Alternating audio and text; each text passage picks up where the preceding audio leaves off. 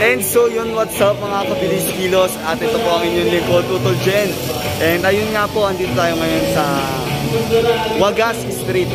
And nandito tayo ngayon para makita at saksiyan din ang isa rin sa mga proyekto ng ating butihing congressman na kumakatawan ngayon sa kandidato bilang isang vice alcalde ng lungsod ng Maynila, ang, ang ating Deputy Majority Leader, Honorable Jules Serbunieto.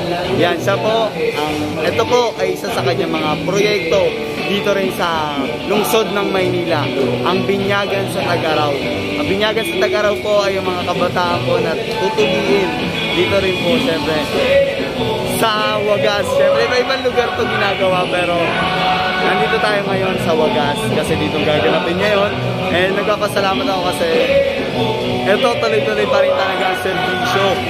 Ang lingkod bayan at ang naglilingkod anumang panahon. Siyempre, ang ating Deputy Majority Leader lang po yan. Youth Sarbonieto. Yun lang po. Update na po kayo mamaya sa mga gagawin ko dito. Maraming salamat po. Manila, God first.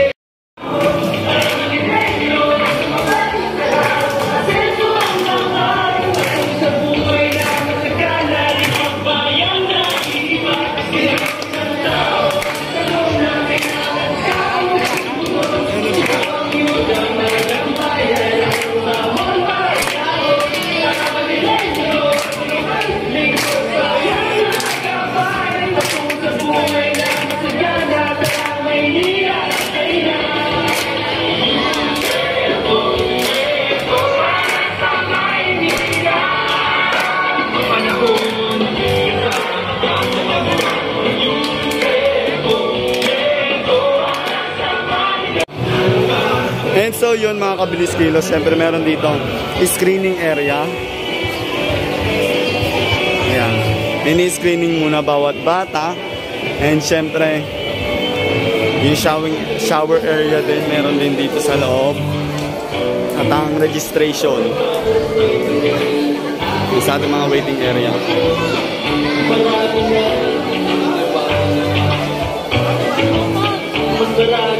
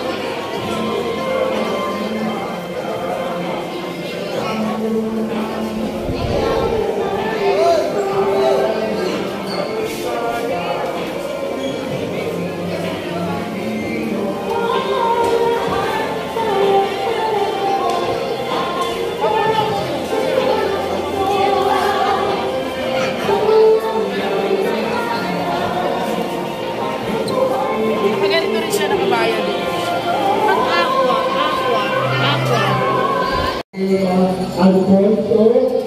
Maraming salamat po kung tihala niyo na Alfonso.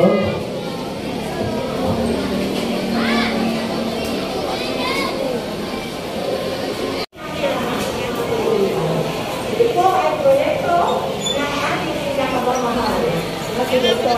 Hani at ni Congressman Yul Servo.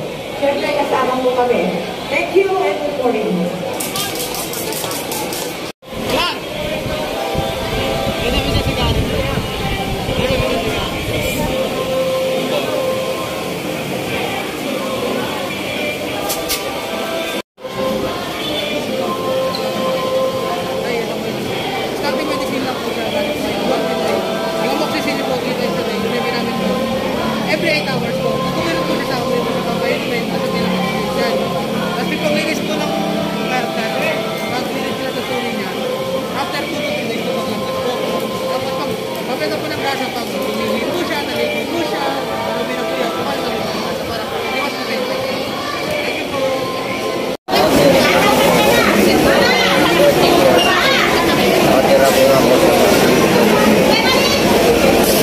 Ano po masasabi mo sa ating buting congressman sa ganitong ginawa niyang proyekto?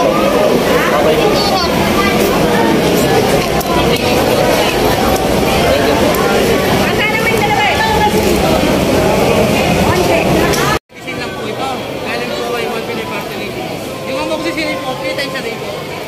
Kasi yung eight hou- every 8 hours po. 3 times a day po. Yung amoxicillin po. Yung yung weapon namin, every 8 hours po. Pag kumirot po siya sa akin, yun lang po siya namin ng weapon namin. Tapos po, tapos po naman, available po yun dyan. Tapos pag pag-release po, ang pag nag-last po, after 2 to 3 days po.